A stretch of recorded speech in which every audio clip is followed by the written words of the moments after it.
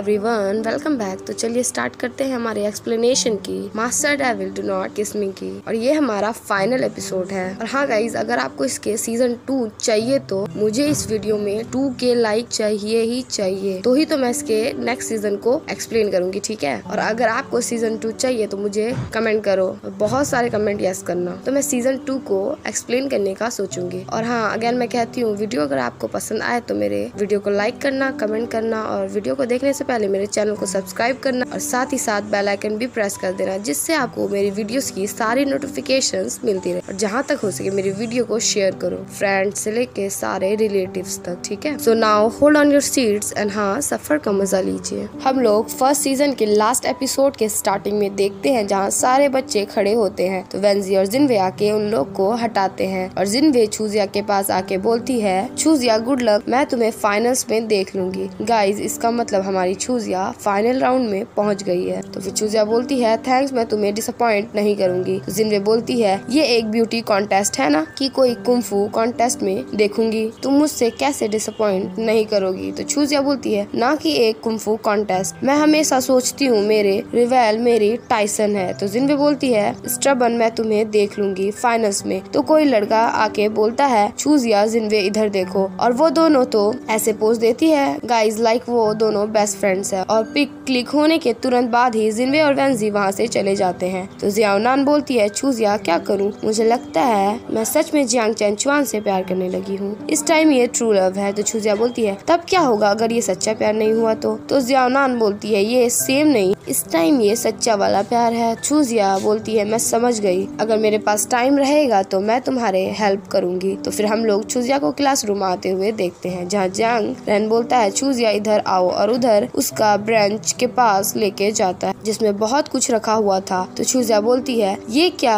है? जंग बोलता है, ये सब तुम्हें तुम्हारे फैंस ने एडमायर्स नहीं दिए। देखो, फूल है स्नैक्स भी है। छूजिया तुम और ज़्यादा पॉपुलर हो रही हो। जो तुम्हारा फ़र्स्ट फ़ैन है, वो मैं हूँ, और मैं काफ़ी प्राउड फील कर रहा हूँ। और छूजिया वो सारे सामान उसे दे देती है। और फिर हम ब्यूटी कॉन्टेस्ट का सीन देखते हैं, जहाँ जियांगरन एंकर बना पड़ा था। और वो बोलता है वेलकम बैक फाइनल्स में हमारे इस साल के ब्यूटी कॉन्टेस्ट में हमारे फाइनल्स के लिए हम लोग सबसे पहले उन लोगों से ये पूछेंगे, वो लोग क्यों कम्पीट कर रहे हैं? और और फिर स्टूडेंट्स टीचर प्रेजेंट करेंगे और फिर हम लोग वोट करेंगे उन लोगों के लिए। अब मैं और कुछ नहीं बोलूँगा तो अभी मैं अनाउंस करता हूँ कि फाइनल्स ऑफिशियली स्टार्ट हो गई है। तो फिर कंटेस्टेंट जो होती है, वो जिनवे थी वो अपना स्पीच देना स्टार्ट करती है। बोलती है हेलो एवरीवन मैं हूँ मोजिनवे मैं ज़्यादा अच्छी नहीं हूँ। स्पीच बनाने में लोग कहते हैं, मैं सुंदर हूँ और मेरा मानना है कि समय और उम्र के साथ किसी का रूप बदल जाएगा। क्या वास्तव में सुंदरता अंदर से होती है? मैं हार्ड वर्क करूँगी एक अच्छा इंसान बनने के लिए। मुझे उम्मीद है कि आप लोग मुझे सपोर्ट करोगे। थैंक यू और उसका स्पीच यहीं एंड हो जाता है। और सब कोई उसके लिए क्लैप करते हैं और फिर वो अंदर आती है। तो वेंजी बोलती है सिस दिन वे ये शानदार था तो जिन्हें बोलती है, ये तैयार हो गया है। तो वेंजी बोलती है, डन है। तो जिन्हें बोलती है छूजिया मैं सबको दिखा दूँगी की तुम सच में हो कौन? और हमारी सेकेंड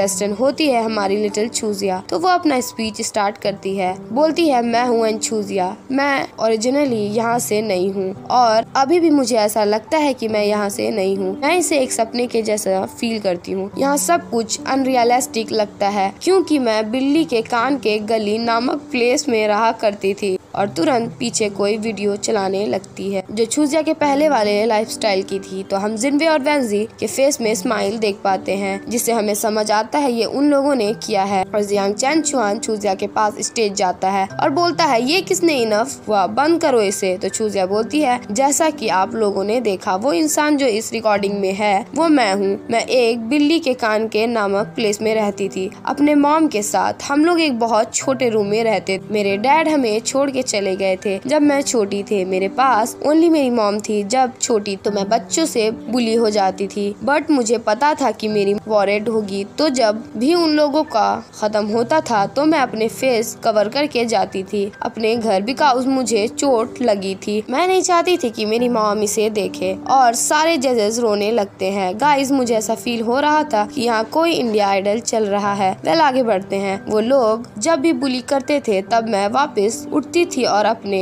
गंदे कपड़े के डर्ट्स को ब्रश करके हटा के अपने घर जाती थी। बट बाद में मैंने देखा मेरी मॉम बुली हो रही थी एलए में। बट वो जब घर आई तो उनके फेस में स्माइल था और उन्होंने कहा, छूजिया, तुम्हें हैप्पीली लाइफ जीना होगा। बी स्ट्रॉन्ग क्योंकि हैप्पी इंसान के पास स्ट्रॉन्ग हार्ट होता है। दूसरों के बारे में मत सोचो। सो अभी मैं और स्ट्रॉन्ग बनूँगी। मैंने टेक वॉन्डो सीखा है अपने आप को प्रोटेक्ट करने के लिए और अपने मॉम को प्रोटेक्ट करने के लिए मैंने खुद से ड्रेसअप किया है। ऐसा कि मैं दिखा सकूँ कि मैं स्ट्रॉन्ग हूँ। मुझे कोई फ़र्क नहीं पड़ता कि कोई क्या कहता है बिकॉज़ जब से मैं चेंज हुई हूँ, किसी की हिम्मत नहीं हुई मेरी मॉम और मुझे बुली करने की। ये है मेरी स्टोरी मैं सबको ये कहना चाहती हूँ कि दूसरे लोग आपके बारे में क्या सोचते हैं। इसकी परवाह ना करते हुए तुम लोग को ट्राई करना है स्ट्रॉन्ग बनना और इंडिपेंडेंट और इंडिविजुअल एंड ऐसे अपनी लाइफ जियो जैसे तुम्हें जीना है और याद रखना हैप्पी रहना है और प्रिंसिपल तुरंत क्लैप करते हैं और बाकी सारे क्लैप करते हैं। छूजिया काफ़ी क्यूट स्माइल देती। और हमारी छोटी छूजिया की बात काफ़ी हद तक सही थी। इसने जितनी भी बात बोली, ये हमें बहुत सारी बातें सिखा जाती है। वेल हम आगे बढ़ते हैं। और फिर हम लोग छुजिया को ड्रेसिंग रूम में देखते हैं। जहाँ उसे उसका ड्रेस मिल नहीं रहा था तो जियानान बोलती है, छुजिया, तुम रेडी हो? ये ऑलमोस्ट तुम्हारी टर्न है। तो छुजिया बोलती है, मेरी ड्रेस कहाँ है? क्या तुमने देखा है? तो जियानान बोलती है, नहीं तुमने,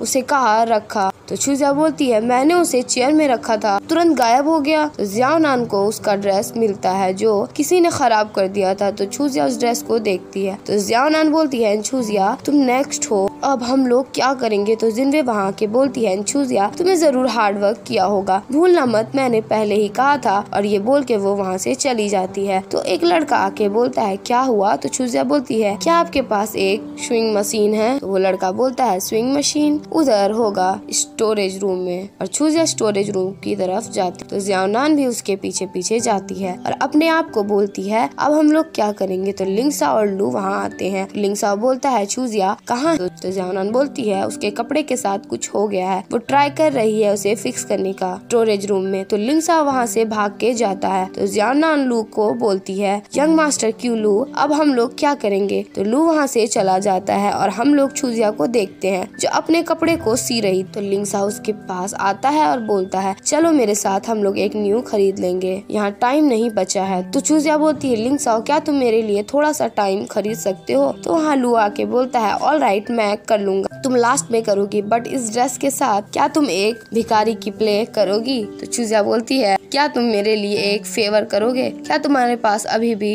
प्रोजेक्शन है? क्यों लू? इस टाइम लास्ट टाइम जैसा करो। क्या तुम करोगे? तो वो मुंडी हिलाता है, जो ना के साइड था। तो चूजिया बोलती है, क्या हुआ? तो लू बोलता है, ये इनफ नहीं है। अगर ये इस तरह होगा, क्या तुम्हें याद है तुम्हारा लास्ट टाइम वाला ट्विंकल ट्विंकल लिटिल स्टार तो चूजिया बोलती है, क्यों लू? तो लू बोलता है और थॉट ये साउंड तुम्हारा ट्रेबल लग रहा है। अगर हम लोग इसमें थोड़ा और एफर्ट्स डालेंगे तो ये उतना भी बुरा नहीं होगा। तो चूजिया बोलती है बट तो लू बोलता है, ये ठीक है, जल्दी करो, तुम कर चूजिया रोने लगती है। तो लू वापस बोलता है, क्या मत रो, ये टाइम नहीं है ये करने का। तो लू वहाँ से जाने लगता है और पीछे मुड़ के बोलता है, राइट। छूजिया ट्विंकल ट्विंकल लिटिल स्टार, वास्तव में एबीसी गीत के समान धुन है और ये बोल के वो वहाँ से चला जाता है। तो छूजिया रोते हुए बोलती है, क्यू लू? थैंक यू तो फिर हम लोग लिंग साव को बाहर जाते हुए देखते हैं। तो दो आदमी आके बोलते हैं, यंग मास्टर आपसे मिलना चाहते हैं। और लिंग साव को वहाँ से वो दो आदमी लेके चले जाते हैं। और फिर हम लोग जियाउनान को देखते हैं, जो बोल रही थी,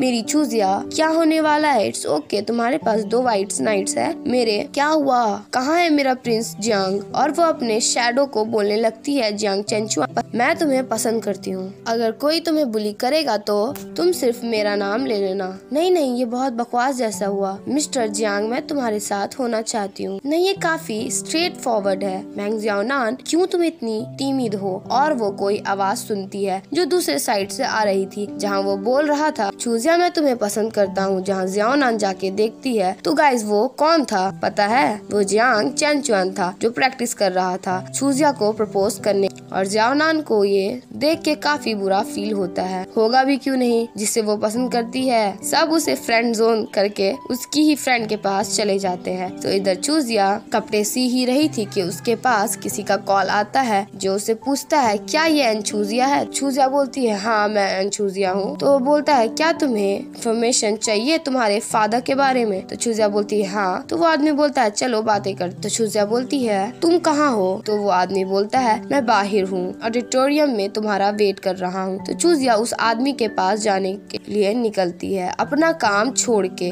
तो इधर जांग रैन बोलता है, चलो वेलकम करते हैं। हमारे लास्ट कॉम्पिटिटर को स्टेज में लू आता है और पियानो करने लगता है और जियांग रैन वही लाइट ऑन कर देता है, जिससे स्पेस का नज़ारा लगने लगता है और वो काफ़ी ब्यूटीफुल था। वहाँ एक लड़की आती है जो आँख में मास्क लगा के आती है और उसके पास लू आता है। तो जियांग रैन लू को एक माइक देता है। तो लू बोलता है एक्चुअली में, मैं हमेशा तुम्हें कुछ बोलना चाहता था बट मुझे कभी चांस नहीं मिला। मैंने आज तुम्हारा परफॉर्मेंस देखा एंड तुम्हारी स्टोरी सुनी। मैंने तुम्हारा एक डिफरेंट साइड देखा। सो so, इस इम्पोर्टेंट दिन में मैं तुम्हें वो बोलूँगा जो मैं तुम्हें कहना चाहता था। और वो उस टाइम माइक में बोलता है चूज़ या एक्चुअली जो मैं कहना चाहता था वो वो लड़की अपना मास्क खोलती है और वो लड़की कोई और नहीं थी, वो लू की एक्स थी। तो जिनवे का रिएक्शन देखने लायक था और वो बोलती है जियांग मैन क्यों? तुम वापस आ गई और इधर छूजिया अपना मोबाइल में बात करते हुए उस इंसान के पास जा रही थी और बोलती है, कहाँ हो तुम? मैं ऑलरेडी बाहर हूँ। क्या तुम मुझे बता सकते हो रे डैड कहाँ है? अभी तो वो आदमी बोलता है, मैं तुम्हारे आसपास ही चल रहा हूँ। तुम्हारे लेफ़्ट साइड में क्या तुम्हें हम लोग को देखना है? तो छूजा बोलती है, कहाँ हो तुम? तो वो आदमी बोलता है, हम लोग ऑलमोस्ट यहाँ है और एक कार आके उसे वहाँ से उठा कर लेके चला जाता है। ज़बरदस्ती। और ये फाइनल एपिसोड यहीं पे एंडिंग हो जाती। है और ये सीज़न की लास्ट एपिसोड सस्पेंस छोड़ के चली जाती है की हमारे अगले सीज़न में क्या होने। और गाइज़ अगर आप चाहते हो कि मैं इसके अगले सीज़न को करूँ तो जितना मैंने आपको कहा है, आप मुझे उतना प्यार दो। तो मैं इसके अगले वाले सीज़न में बताऊँगी कि इससे आगे क्या होने वाला है। So thank you for this watching this drama